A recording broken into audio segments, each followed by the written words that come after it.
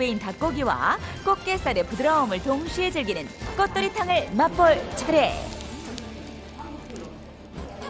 이곳에서만 볼 수 있다는 양손 신공. 음, 어머나. 꽃게 한 입에. 고기 한 입.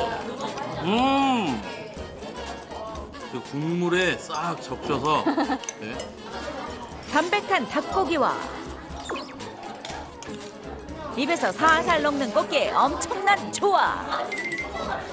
닭도리탕이랑 꽃게를 조합한다니 누가 이런 생각을 했겠어요.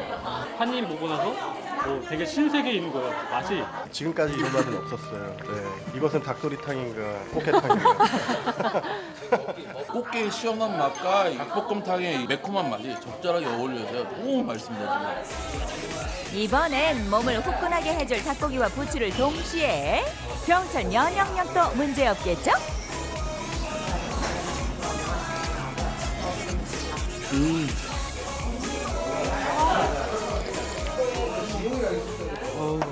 술이랑 먹기 진짜 딱 좋아요. 예. 이거 딱 먹고 다음날 술을 안 많이, 먹, 많이 먹어서 이거 먹고 일어나면 숙취해소 하나도 없을 것 같아요. 추운 날에 부추랑 꽃게랑 이 닭고기랑 먹고 나니까 몸이 참 따뜻해지는 것 같습니다. 궁합도 정말 좋은 것 같아요. 꽃도리탕을 다 먹고 나면 마지막으로 넘어야 하는 맛의 관문이 있었으니 바로 넓적 당면이 그 주인공.